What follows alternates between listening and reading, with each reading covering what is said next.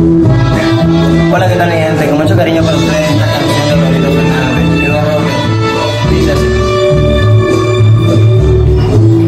Cuando te perdí, no me conformé con la realidad.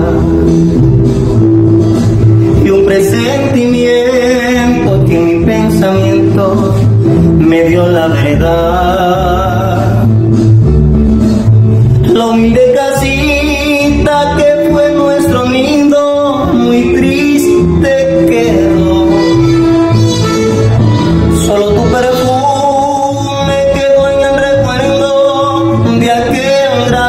amor.